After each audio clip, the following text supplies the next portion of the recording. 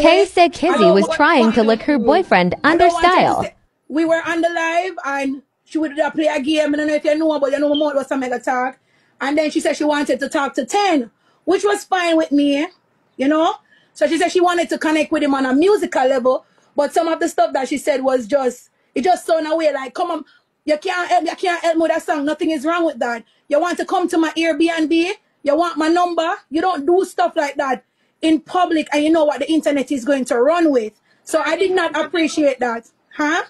Right in front of you. Yeah, I was, me and him did then a match and I ended my match so he could talk to her because she'd been texting, come on, man, I want to talk to you, I want to talk to you. So I found that very disrespectful because me want to do it to nobody. Listen, it, it, it come down to this. If you want to fuck a boy, I can't stop a girl from fuck a boy in front behind half behind back, I can't in front of my face. And whatever she wanted to connect with him, she could have do it differently. But some people just love the excitement and them something there. Me couldn't come on live and tell your boyfriend say, Oh, um, I want to get to this and I want you want to come to my Airbnb. It is some things it's funny to some people, but it's not funny to me. I find it inappropriate what she did, and people obviously say, "Oh, that's her," but that's not me. You don't know me like that. Don't run certain jokes with me because the internet will twist it away for it to look away, and that's Well, exactly what the internet did. I didn't know that happened. I'm sorry to hear that. Yes, so and it's because you sent me the invite. That's why I even play because I don't mind playing against anybody.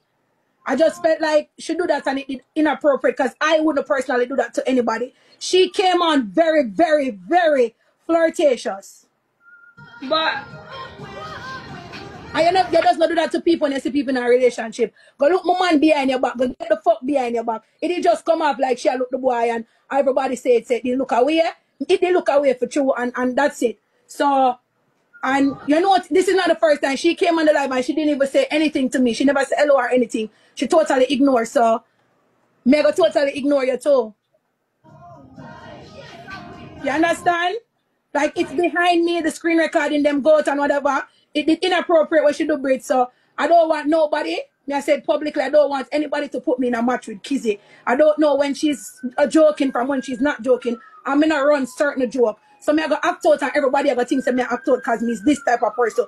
Don't joke with me. You don't know nothing about me. Man I run certain joke. Me now go make no girl come laugh up in my face and then after that yet, yet some, somebody have a screenshot with you, run a one corner suck my man hood and everybody are gonna say, yeah, she did it on internet a joke run. Say no, she have fuck the boy for two. Cause me not gonna pick up in a boy and say, oh, my man would have never, my man have cocky, Kizzy have pussy. When people have cocky and pussy, anything can go on. You don't do this shit on the internet and feel like it's fucking cute. It's not cute.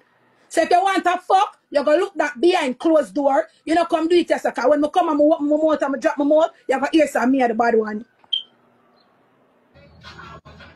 Me will never say a boy I will never. Me not put that. My man have a cocky and Kizzy have a pussy. And anytime cocky and pussy meet up, fucker can go on or good things, bad things, underneath the blood clot toilet. Something can go on.